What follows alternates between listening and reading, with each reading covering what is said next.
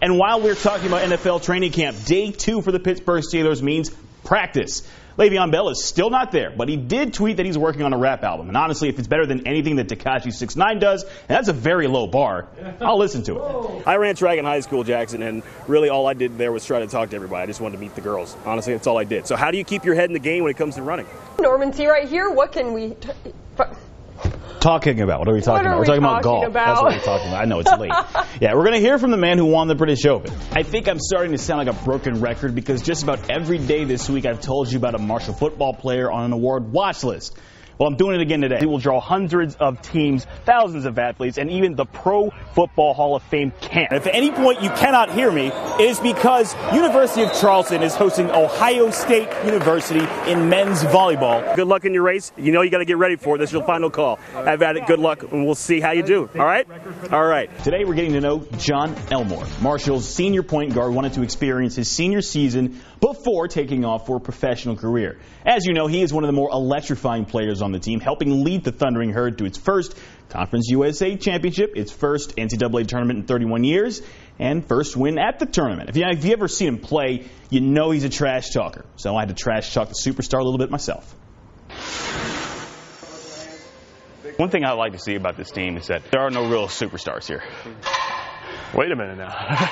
Wait a minute now. When did you decide you really wanted to, you know, commit to playing ball? Uh, my dad played college. My grandfather played college. My brother played college. Ball's kind of always been in the family as long as I can remember. I had a ball in a Little Tikes hoop or a hoop outside. And it was never they made me get in the gym either. It was always I wanted to be in the gym, and if I wanted to be in the gym, they'd be there with me. I mean, I couldn't ask for a better situation. I want to be the best. As people always say, there's somebody out there trying to outwork you, and I don't want anybody to outwork me. I mean, I don't want to have any regrets. When you're not on the court, what are you doing? Big Fortnite guy. Probably top Fortnite guy on the team. Don't tell my teammates that. But I graduated last year, so I'll start my uh, grad school. Hoop, play a lot of video games, and do a little bit of academic work here and there. Man, that's the life. Grad school is actually surprisingly simple. I hope so, man. I've had a grueling grind these past four years. Glad I got my degree in hand. Uh, nobody can take that from me. What's your degree in? Public communications. Doesn't matter what you know nowadays. I mean, if you can talk to people and you can interact with people, get a long way. Five years down the road, what's life look like ideally? I'm playing in the NBA. Uh, just signed my second contract. Got a family.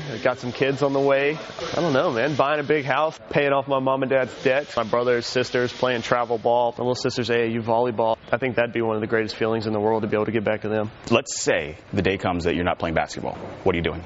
Hopefully coaching. I want to give back one day. I want to teach kids what I've learned. Uh, Both my parents are lawyers, so I could see that route working out as well, but that's a lot of work. I know you in particular. You like to run mouth just a little bit. Talk a little smack here and there. I mean, I think it adds to the game. You get the other guys fired up. I mean, it adds a little flair to the game, I'd say. My family comes to every game. They come down here during the week, take me out to eat. My mom does some of my laundry, uh, which she hates, but I love it. A bunch of my teammates I played with growing up or played against. Having that relationship and that chemistry, I think, goes a long way. At Fairland High School, everything seems normal, Stop your feet. but that's not the case for senior Allie Henderson. It's easy to put on a front and just pretend like everything's handy, all right, all good, but it's really hard when you're lethargic and tired. In late December, she was diagnosed with thyroid cancer, and the rest of the Dragons stepped up. Students came to me on last Friday afternoon and said, you know, hey, look, we want to do something for Allie, something special. which is all you could ever want for your child. The visiting Chesapeake Panthers did the same. We were able to sell 350 shirts between the two schools. We're going to raise somewhere between 23 and 2500 dollars for the cause. I totally believe in, in rivals for sure, like school rivals, but more importantly, it's our community. And if we don't pull together for one another, who will? Allie is Fairland's student body president, homecoming queen, and avid basketball fan. But what stands out the most about her is her selflessness. And when she found out they were doing this tonight, it kind of, she was like, but there's a boy at Chesapeake that has cancer. And Just overwhelming in a good way. It's really nice. That attitude spreads quickly.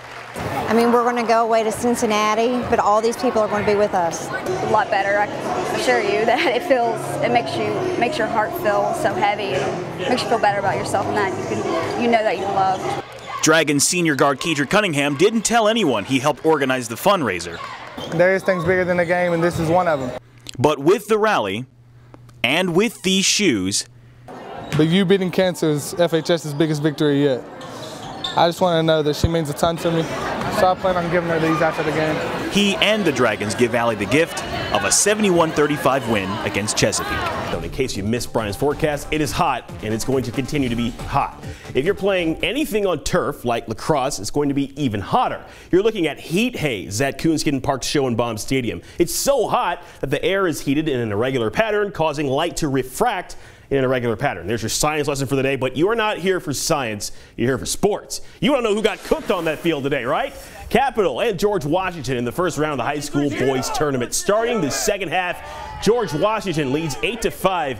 Make that 9 to 5 thanks to Tanner Rice with that shot. Not long after, Jared Yeager fires. Capital goalie Alex Chunkard blocks the shot.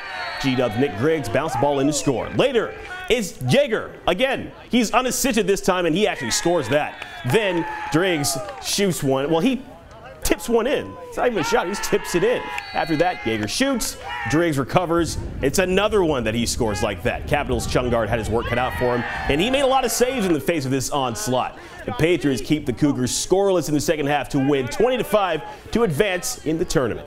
Now, in the Mountain East baseball tournament, Charleston beats Shepherd in the first game of the day, 7 to 5. That means the Golden Eagles will play for the championship on Sunday at 1. They have not lost yet, not that they want to, but they can afford to lose once. I don't see that happening. Marshall Baseball is still finishing off its final road trip of the season. They were shut out at Charlotte last, well, today after losing last night. 6 0 was the score. It's the second game of the series. They've got another game to play tomorrow. I love this giant monitor because when I have to point out scores to you, I can literally do that and you get to see more of me. Everybody wins. Speaking of winning, after the West Virginia Powers swept the Hagerstown Suns, the team ended up on a five game winning streak. Let's make it six. The team opening its series with Lakewood today, they lead 4 to 1 in the eighth inning. Now, we will check in with the Mountaineers. Here's this evening's West Virginia Illustrated report.